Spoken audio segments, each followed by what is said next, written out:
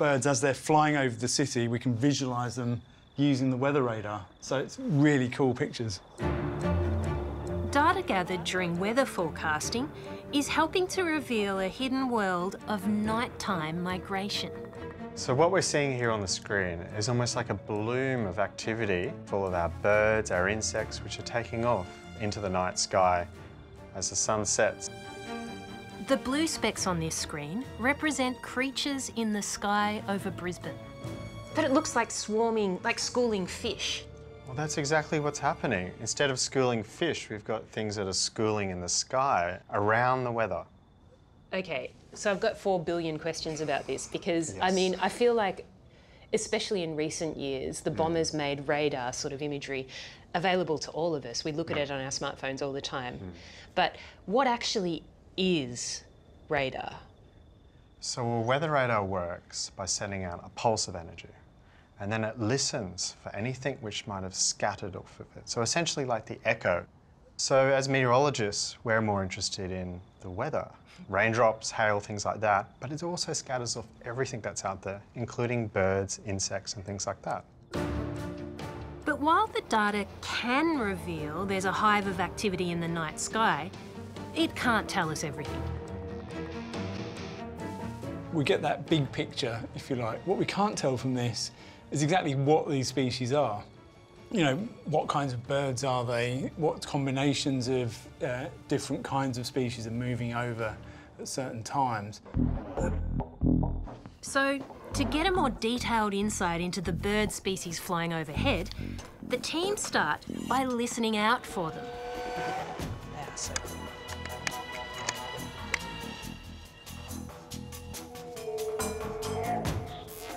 So, what sound are you trying to record? Are we talking like flappy wing beats? What?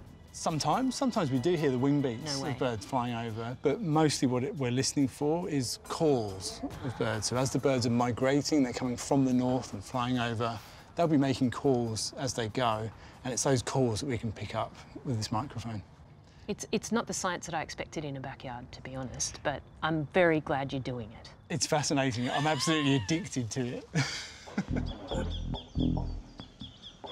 Richard's nighttime recordings have revealed unusual species moving across central Brisbane. Here we've got a sacred kingfisher that's flown over at that point, so they're migratory. Right, so that yeah, chip, yeah. chip, chip, chip, chip. That's right. And those birds, they don't live around here. I never see them around here during the day. That's, that's migrating through. It is sort of cool, this one, isn't it? It's like it is, is opening up a whole new section of behaviour that we basically didn't know anything about. It's completely blown me away. They're flying over at night. Yeah. They're using this place without us even realising it. Richard has so far discovered eight species flying over at night that he has never observed during the day. There's stuff going on. But not all birds call out as they fly by. So, for the first time tonight, the team are trialling a new tool. What am I looking at? I'm glad you asked. Well, this is thermal imagery. Um, it's used. We use it for a lot of wildlife management and finding animals at night and looking at their movements. This high tech thermal camera can detect the body heat of animals up to one kilometre away. Birds are an interesting one because they're covered in feathers. We've tested this already. We've had a little test run, and the birds definitely do show up at Okay. night. Um, they still obviously give off enough heat for the thermal gear to work. Um, and I can't wait. I think we're going to see a few interesting things tonight.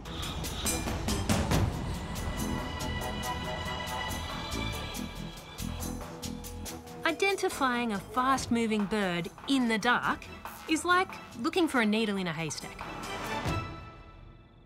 Oh. Right, guys. How'd we go? I think we've got birds. I No. think we've got success. So, Ian, I'll probably defer to your expertise here, but um, if we look at some of the imagery that we've captured here, you can Oh, see wow. the birds flying along at night. we both get the we both get the bird a squint on the. Their warm bodies show up in precise detail, allowing the team to identify different species. Oh. oh, that's super close. So that you see the long tail on that, that's really characteristic. That looks like a channel-billed cuckoo.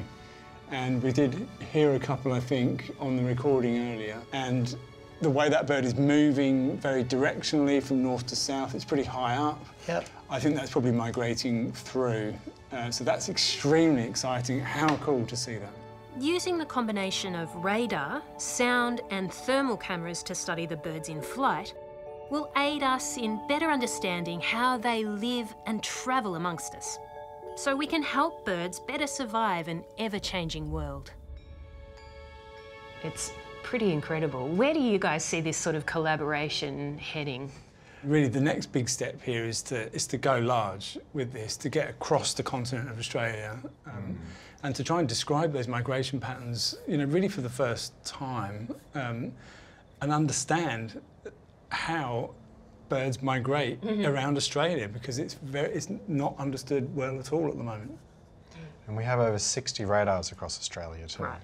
So lots on the east coast, but plenty through the central Australia as well and over to the west. And we have a long archive for many of these radars, more than 10 years for many of them. So we can go back and perform this analysis during periods where it's been drier, periods been wetter, and look at those aspects as well. That's pretty amazing.